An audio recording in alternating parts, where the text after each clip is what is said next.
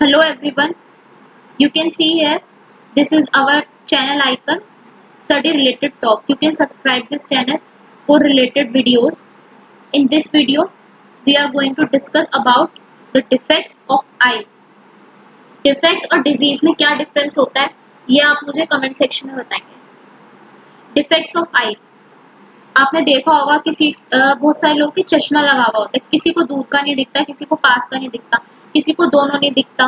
तो ये सब जो डिफेक्ट्स होते हैं, इनको हम नाम से कैटेगराइज कर रखा होता है, जिसमें अलग अलग चीज़ों से हम उसे ठीक करते हैं। आप देख सकते हैं डिफेक्ट्स ऑफ़ आइज़ में ये चार हैं। ये मोस्ट इंपॉर्टेंट है और इनमें भी ये जो शुरू के दो हैं मायोपिया और हाइपर हाइपरमेट्रोपिया ये दोनों बहुत ज़्यादा इंपॉर्टेंट है और एग्ज़ाम्स में रिपीट होते रहते हैं। आपने अर्लियर क्लासेस में भी ये पढ़े होंगे। तो मायोपिया पढ़ते हैं सबसे पहले। मायोपिया को हम शॉर्ट साइटेडनेस भी बोलते हैं। A short-sightedness eye can see only nearer objects.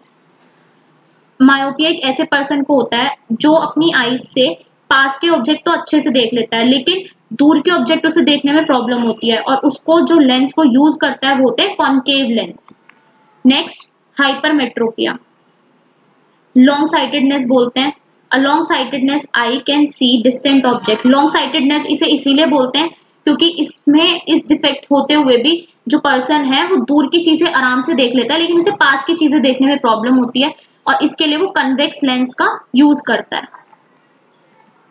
Next presbyopia in this object both near and far objects are not clearly visible presbyopia के अंदर जो पर्सन है, उसे पास के भी और दूर के भी, दोनों ही ऑब्जेक्ट्स क्लियरली विजिबल नहीं होते। इसके लिए बायफोकल लेंस का यूज़ किया जाता है। Astigmatism. In this defect I can not see horizontal and vertical lines अभी हमने बात कर ली पास के ऑब्जेक्ट्स की, दूर के ऑब्जेक्ट्स की और जिसको दोनों ने, दोनों क्लियरली विजिबल नहीं होते।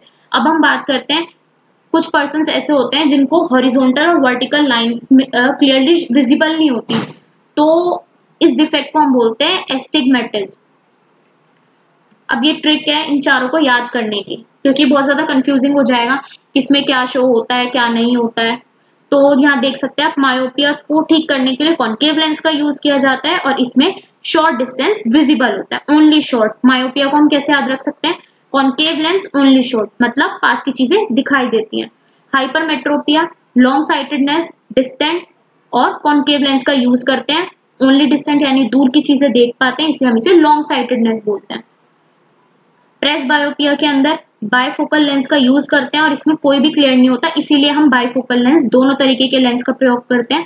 कौन से दो लेंस का यूज़ करते हैं? Concave lens and convex lens astigmatism के अंदर हम सिलेंड्रिकल लेंस का यूज़ करते हैं, जो इसमें लेंस लगे होते हैं, थोड़े से सिलेंड्रिकल होते हैं, क्योंकि ये उन पर्सन को लगाया जाता है, वो पर्सन यूज़ करते हैं जिन्हें हॉरिजोंटल और वर्टिकल लाइन्स क्लियरली विजिबल नहीं होती।